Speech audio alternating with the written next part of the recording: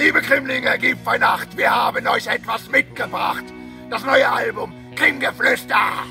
Kommt am 1. September jetzt endlich raus. Wir haben lange drauf gewartet, wir haben lange dran gearbeitet.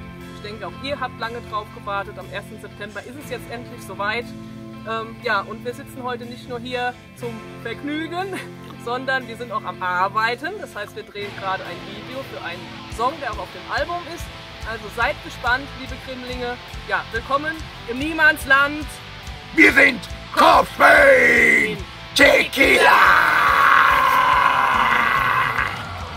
Ich sitze so scheinbar.